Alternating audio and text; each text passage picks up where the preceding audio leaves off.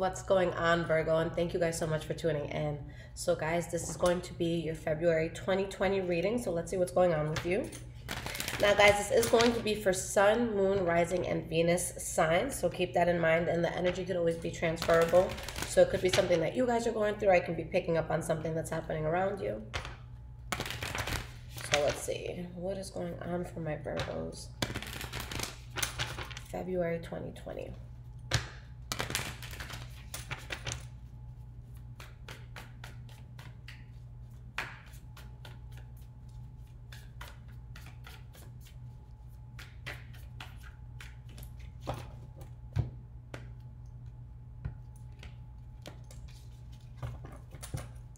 Guys. Let's make sure this is good and shuffled.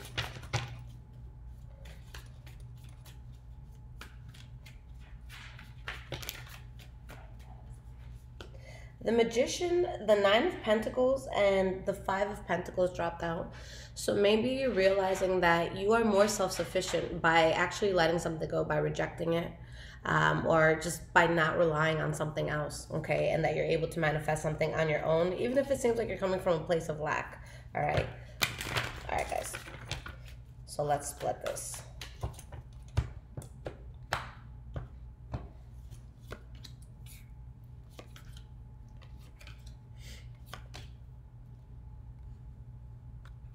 Just move all these cords out of the way. Okay.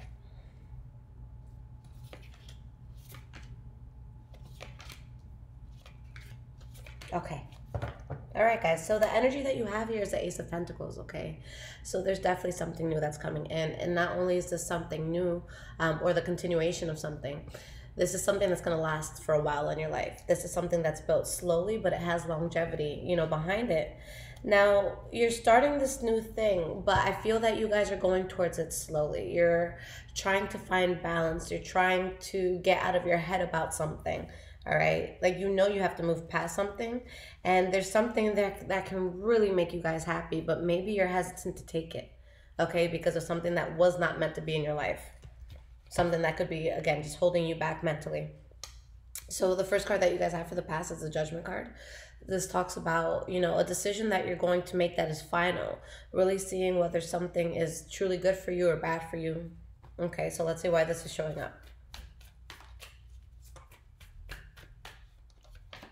We have the Queen of Swords in the reverse. and the King of Swords in the reverse.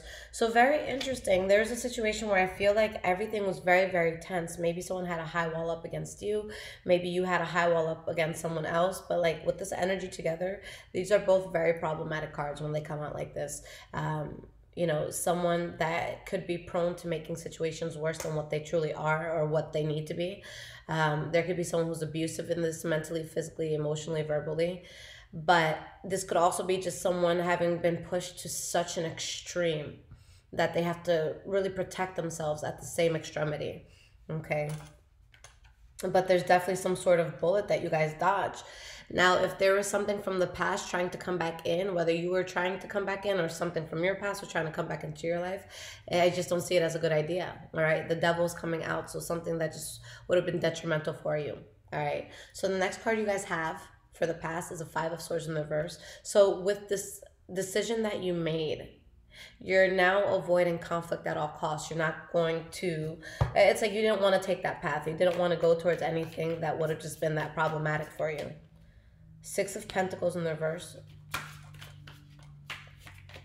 And Strength card in the reverse. So you're avoiding a lot of conflict, but it's like you feel debilitated or maybe someone around you does because something is just not being reciprocated anymore. Someone's just kind of cutting something off. There's an imbalance of some sort. Okay. Uh, this could be a situation where a lot of money was lost this could be when someone's genuinely just not invested in something or someone who just feels tired because they kept trying to get something off the ground. For some of you, you could have been trying to really keep something that you didn't even like.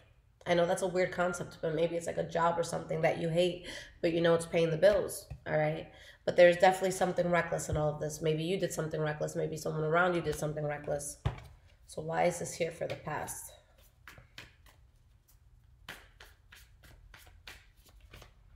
Six of Swords in the reverse. and you have the two of wands. So there's a lot of reckless you know energy here. Someone's doing something without not thinking. And it's like you're letting go of something that i do find you guys to be very passionate about but it's just not a good idea there's something about this you know i'm like spitting over here but there's something about this that just can't be trusted all right for some of you maybe you were dealing with the fire sign leo aries or sagittarius and all of this but yeah definitely something that you lost faith in where there's just too much burden you had to release that all right. Now, in the present moment, the first card that you guys have is the Ace of Swords. So, this is a great card because, yes, it shows a new beginning that comes in. But specifically, this is saying that, again, you had to cut out something that was very conflicting, something that was just seen as bullshit.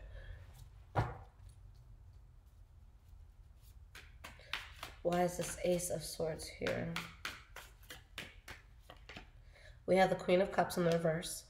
So whether it's you or someone around you guys, someone's really upset that this isn't working out. They're upset about what they have to cut out. You could also be in a place where although there's like different paths that are available to you, you might be reluctant to taking it. Maybe you're just not excited about anything new right now because you're still just trying to grieve something that you're getting over.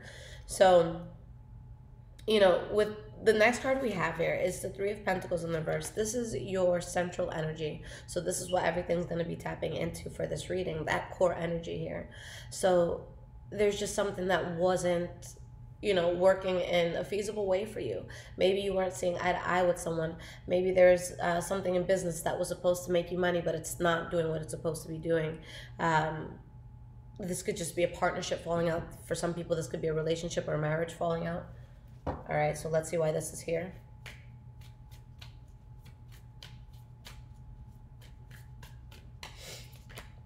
Seven of Pentacles. Spirit is saying to wait, to take a moment, breathe, be patient. All right, because you guys have something right around the corner here. So, yes, something isn't working out, but Spirit is just really telling you to be at ease. This is, you know, the ultimate card of happiness in tarot this is where you're feeling very good you know um, your your home life feels stable and you're realizing a lot you're realizing that something you know wasn't going to work out and you're having an you know it's like an unstable transition that you could be feeling but and i say this with love virgo there's a sense of hard-headedness here because deep down you know that something was supposed to be let go of but you're really just kind of stuck on that you guys dodged a bullet with whatever didn't work out, you definitely dodged a bullet. But there's a need to really know that and be able to forgive yourself for that, okay? For whatever this was. Now, the last card that we have for the present moment is the King of Wands in the verse. This could be an overbearing boss, someone who's always like yelling and just like, you know, in your personal bubble, but they're not um, they're not good leaders in the sense where they're kind of barking orders instead of the type to roll their sleeves up and do some of the work themselves. Um, this could be a cheater in love. This could be someone that can't be trusted, someone who's jealous, someone who maybe wants to take their authority and abuse it, okay? Or just have authority for the wrong reasons, wanting to be in charge for all the wrong reasons. Why is this King of Wands in reverse here? Nine of Swords. Seven of Swords. So, especially if this has to do with love, I feel like someone could be worried about something that's being done in secret. Um, maybe someone's worried that their partner's secretly seeing someone else, or you're just worried that someone is secretly seeing somebody else. Um, but there's definitely something that can't be trusted here. Secret's something that just causes a lot of anxiety. Let me pull one more card for this. Four of Pentacles in the verse. Whatever this is, guys, you need to be reserved about it. And so that'll be easy. Like whatever's causing you to lose sleep at night or whatever you're constantly in your head about and you know it's just not healthy to be in your head about it all the time. Um, it's just something you really have to guard yourself from and stand your ground with it. Because although there's burden that you're feeling over a situation that just was forced at this point, something is going to happen really quickly for you guys. For some, this could have to do with travel. Um, maybe you're physically moving jobs. Maybe you're physically moving where you live. Maybe you're going on some sort of vacation. But again, something comes in quick, but you guys are still stuck on the past. But there's a huge change here. Right now, you're in a place where you're realizing that something would have just really thrown you off had you uh, still stayed around it. Okay. Now, moving forward into the future, we have the Five of Cups. Now, keep in mind, guys, yes, this is a card where there could be loss or sadness that's felt. Oh, it matches my eyeshadow. How, how pretty. But um, with this card, guys, the the reason why a person could feel so distraught here is because they're focusing on everything that they lost. They're not realizing that they have so much going on for themselves and that um, there's a lot available to them. So you don't want to just, you know, pay attention to the spilled milk.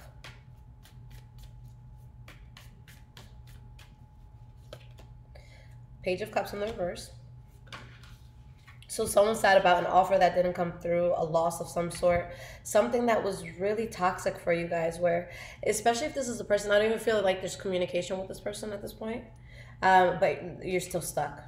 Okay, uh, there's something where you're cutting something off, or there's no communication. There's a huge loss felt over it, and it's just it's not something that could be trusted, guys. I, I just don't see it as genuine. Okay, even if it was something that you were entertaining there's an energy here, especially with the King of Pentacles in the reverse, where someone is just not genuinely uh, interested in something. So that's why it's not working.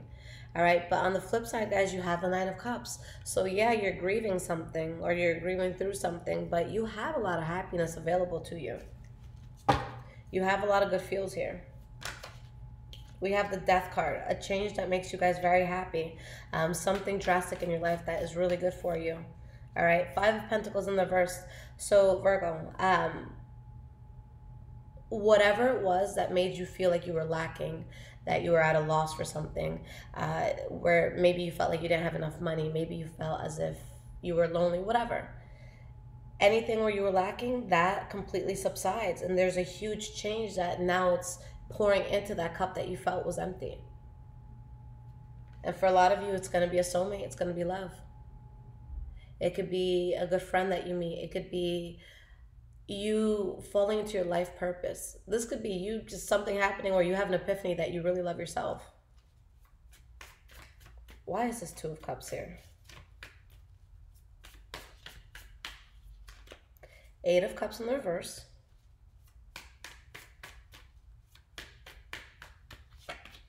And you have the Eight of Swords. So, guys, this is interesting because you get into something that your soul really wants for you. But right when you get into something strong, the past comes knocking. And now you feel stuck and you don't know what to do. And Spirit is saying, look, you've already been through the worst and you know it's not for you. It's time to close this out. Okay? Because your soul knows that this is a situation that can no longer be trusted. It's just not going to go the way that you expect.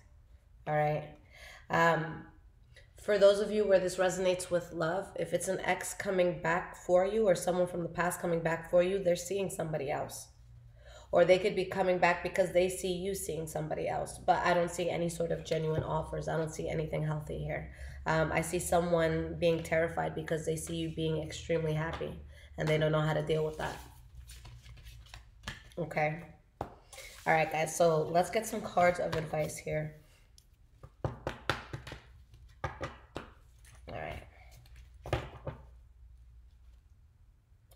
What I had on this before, but I need to wipe this down. Kidding, I was rolling a blunt. All right, let's see what's going on.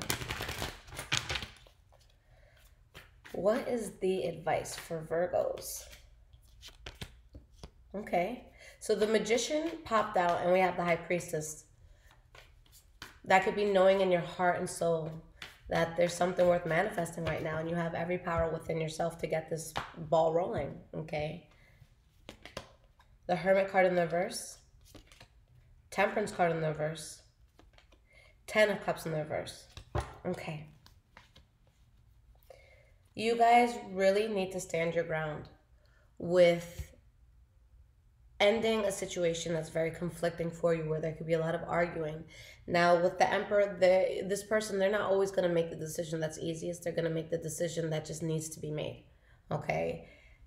Although this change could cause a lot of you know turmoil whether it's through arguing or just what you feel within yourself. It brings a very solid chapter guys where it's like you feel like you won the lottery on life. It brings in a lot of healing um, and it brings a lot of amazing changes uh, I see past life connections for a lot of you. You guys have immense love coming in, something that you strongly desire. But with what you strongly desire, I'll get that card in a moment. With what you strongly desire, you're going to hear shit for it. Someone's not going to be happy that you're happy. Okay, one second, guys. Ah, okay. Okay, so let's see here. My pants are like stuck on this. Here we go. All right. So why are these cards here? We have the Six of Swords. So you guys are manifesting something at a time where you're healing and you know deep in your heart that it was just time to release something. Um, there was something in your life that it was just all illusion. You never had all the facts on it. Your soul didn't want it for you. Your soul is uneasy with it and your soul's ready to release it. Okay, and that's what's going to bring you balance. But once you guys make that decision that initially will make you feel unhappy, you guys have something strong coming in, some strong passion, some strong love. Just get over the initial loss. All right, this chapter really wants to come in strongly for you guys. Your reading last month was powerful as well, the two that you guys had. Um, you guys have some sort of offer, whether it be with money or love, and look what it does. Nine of Swords in the reverse, all your worrying goes to the side. You're, you're not, you know, you're not dealing with bullshit anymore. But again, somebody is going to be very angry about some sort of offer that you accept or something that you're building. Okay. Um, and whoever it is that tries to intervene with this, I feel like it's a very selfish thing. And something I always tell myself, guys, if you're genuinely doing something that makes you happy and someone is truly against it, you have to put that into consideration. Because even when it comes to like love and things like that, um, I feel like the healthiest mindset to have is that if you truly love a person or if you truly, you know, want good for people, you have to be okay with what's truly good for them. And sometimes that, you know, that's not you. And so it, there's just a sense of needing to have that maturity in this situation um, and being able to think that way. So if you're truly, genuinely happy and someone has an issue with that, or some, you know, whether it be a boss, a parent, you know, uh, ex lover, whatever. Is that truly healthy? Do you truly want that? Okay. I love you guys so much. Now, if you guys want to follow me on social media, my uh, Instagram, my personal one is High Vibrations 44. My tarot Instagram is High Vibrations Tarot, and you can find me on Twitter, Bruja Shit. All right.